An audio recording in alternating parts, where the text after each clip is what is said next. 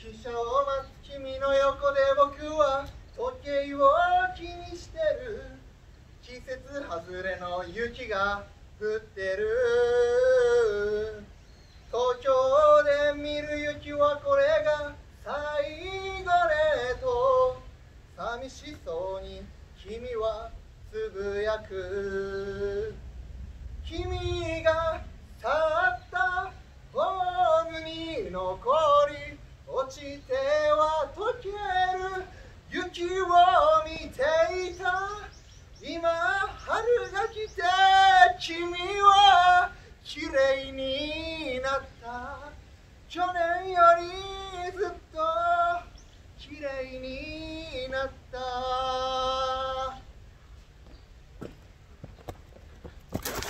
ということで、本日茨城県にもね、このように春がやってまいりましたんで、えー、この山の幸をね、春の幸を見つけて、本日は春の料理をね、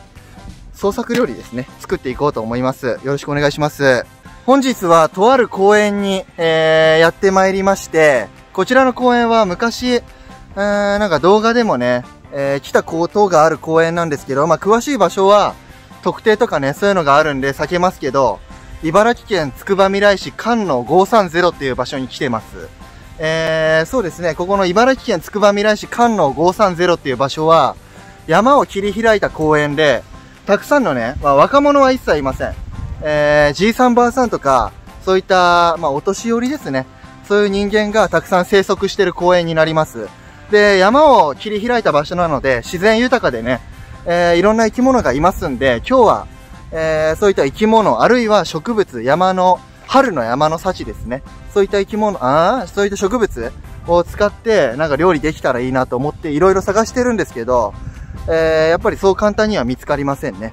そうしましたら、こちらに、えー、クッキーの原木をね、見つけましたんで、えー、これをペリペリと剥がい剥がして、まあなんか生き物が潜んでるかね、見てみようと思います。まあここ腐ってるのかなんかわかんないですけど、まあ、腐ってるのかな。こうやって簡単に剥がれます。でこうやって生き物がいるときはなんかくっついてたりしますね。でこれ何もくっついてないですね。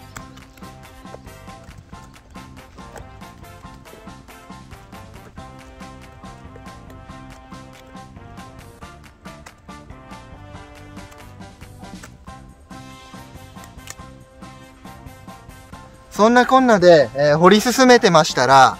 こちらの ゴミムシ魂を2匹発見しました。で、こいつらゴミムシ魂が食べるものとしては、まあ樹液とか、えー、そういったものですね。で、かなり臭くて、なんか嗅いだことある匂いだなと思ったら、私の車と同じ匂いがしますね。すんごい不愉快な匂いがします。でも憎めないね、えー、可愛らしい顔をしてますね。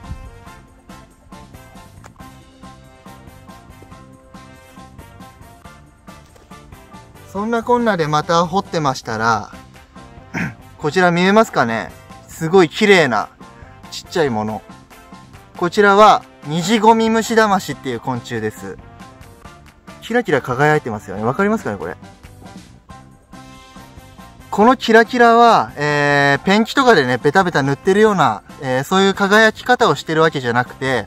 光の当たり方によって、まあ、色が紫だったり、えー、緑だったり青だったりね、そうやって変わってる、まあ、いわば構造色によるものですですね。構造色で、まあ、綺麗に見えるものとしては、だいたいクジャクの、えー、羽の輝きも構造色でね、えー、あのようにきらびやかに見えております。このように、先ほど捕獲したゴミムシダマシとは違って、えー、どちらかというと丸っぽい、そういった形状をしてまして、えー、まあ、アナルパールみたいな形をしてますね。そしたら、こちらのアナルパール、アナルパールじゃない、えー、虹ゴミ虫魂、えー、ちょっとね、生きたまんま味見してみようと思います。やっぱりゴミ虫魂っていうだけあって、ゴミ虫の仲間なのかな？それで、すごい強烈な匂いがしますけど、まあ、アナルパールだって考えたら美味しそうに見えますよね じゃあ、いただきます。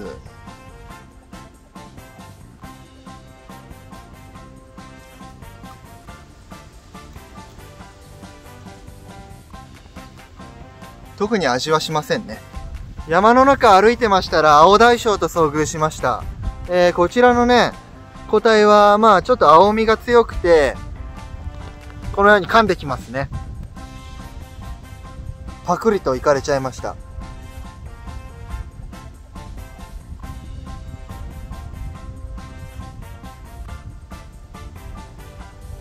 やんちゃ坊主ですね。で、まあ、いつもだとこのように、えー、生き物、蛇とかカエルを捕まえよう。めっちゃ血出てるやんけおだらだら血流れてますね。まあいいや。そしたら、えー、まあこうやって生き物を捕まえてカエルとかね、たくさん食べてるわけですけど、今日はせっかく春の山なんで、山菜とかキノコとかね、そういった植物系のもの、えー、ありましたら捕まえて、捕まえてじゃない、拾ってね、えー、まあ先ほど捕まえたゴミ虫騙しとかと混ぜて、炒めてね、まあ私なりの料理を作れたらいいなと思います。なんで、まあとりあえずやっぱり山菜、山菜とっても面白くないんで、えー、キノコ見つけます。で、キノコに関しては、動物とは違ってね、全く私知識ありませんので、とりあえず、まあ見つけたキノコから順にね、えー、まあ確保して、後々焼いてね、食べてみます。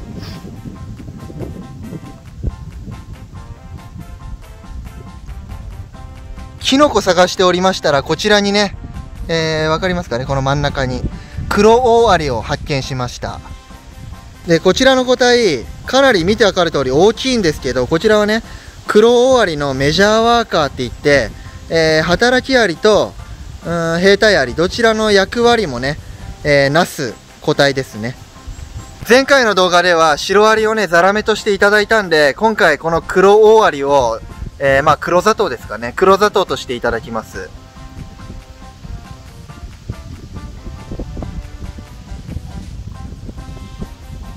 うん、特に味はしないんですけど、まあ、アリ特有の酸っぱさはありますけど、えー、まあ嫌な味はしません。で、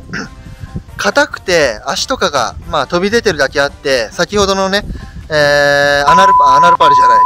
えー、ニジゴミムシダマシとは違って、えー、まあなんか喉に引っかかる感じがしますね。でも、まあ普通に食べれます。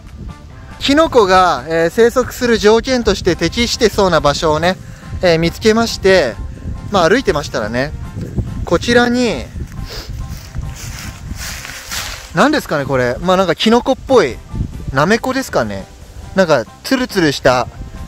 なんだこれ。キノコ全然わかんないんですよね。なんか、キノコらしきものが生えてます。かなりプニプニしてますね。キノコの取り方ってこれで合ってるんですかね？ああ。うわすごい。かなりゼラチン質でえー、プリップリです。こうやってずっと触ってられますね。食べなくてもこうやって暇つぶし用で触る用で持って帰ってもいいかもしれませんね。そしたらこちらのなめこは、えー、後ほど食べるように確保しておくとして、えー、まだこいつだけだと寂しいんで、もう一種類ぐらいね、えー、た、たぬきじゃない、えー、キノコ見つけていきます。また引き続きキノコ探してましたら、こちらに発見しました。もう、このね、このうっそうとした、えー、雑木林の中でもわかるぐらいね、赤が冴えてる、もういかにも怪しそうなね、毒キノコですかね、これ。なんかキノコによっては、うん、触っただけでもかぶれたりね、そういって、まあ、そうですね、横綱差し亀に刺された時みたいな、えー、まあ、痛みとかそういうのが走ることがあるんです、あるので、こうやって意味わかんないね、いかにもやばそうなキノコ見つけても、こうやって触るようなことはしない方がいいです、絶対。めちゃめちゃ赤いんですよね。多分、カメラ越しだとちょっと色変わってるんですけど、肉眼だとマジで白人の乳首みたいな、普通の乳首、黄色人種の乳首より赤が冴えてる感じがします。マジでこれ遠くから見たら白人がね、えー、ここにもう仰向けになって死んでんのかなって思うぐらい、完全に乳首の色してたんですよすいません、ちょっと乳首見つけて喜びすぎちゃったんで、えー、まあこの2つですね、確保してね、食べます。マジでこれなん、なんなんですかね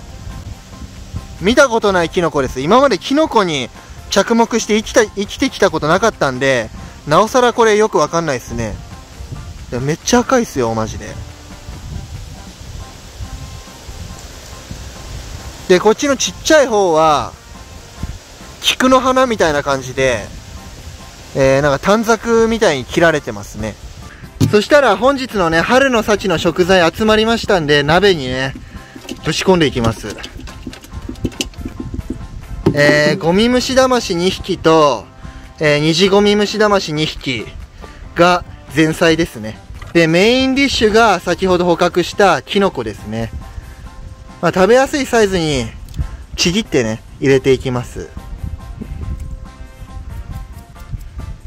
こちらのいかにもやばそうな乳首みたいなキノコ。えー、こちらも当然食べますね。で、まあ今のところ、これ素手で触っててもかぶれたりね、そういった症状は出てません。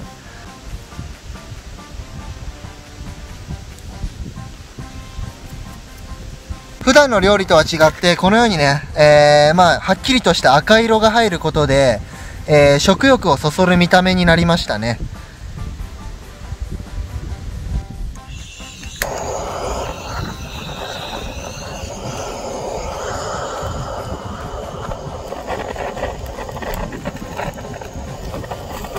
かこの最初に捕まえたキノコの方は、なめこみたいな、このツルツルしたプニプニしたやつは、焼くと周りの皮、薄皮がペリペリ剥がれてく感じがします。で、この乳首みたいな方は、焼いてると、なんかちょっとしぼんできてますね。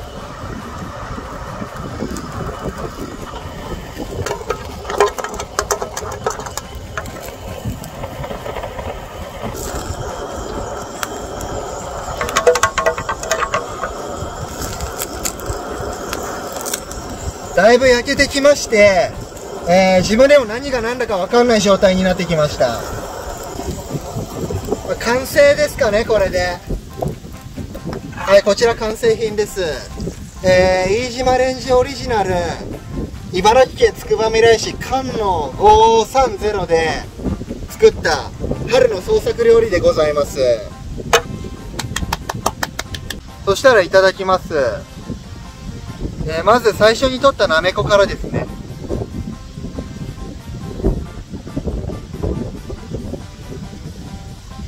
ものすごい香ばしい。なんか脂身、肉の脂身みたいな味がしますね。次こちらのゴミ虫魂。毛虫と同じ味がします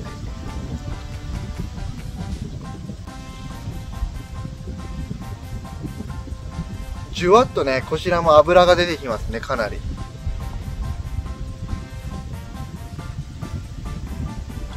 で、まあ、こんな状態で、虹ゴミ虫魂、先ほど、アナルパールとしてね、紹介してた個体なんですけど、一切見当たんなくなりました。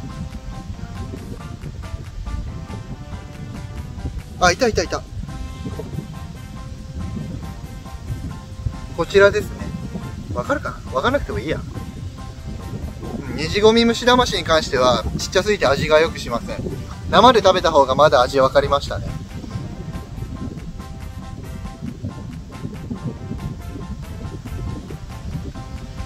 で、最後ラストこちらですね。この一番やばそうな乳首みたいな色だったやつ。先ほどはね、白人の乳首みたいな色だったんですけど、えー、今はね、もうこのように真っ黒で、狼の金玉みたいな色してますね。えー、そしたらこちら、いただきます。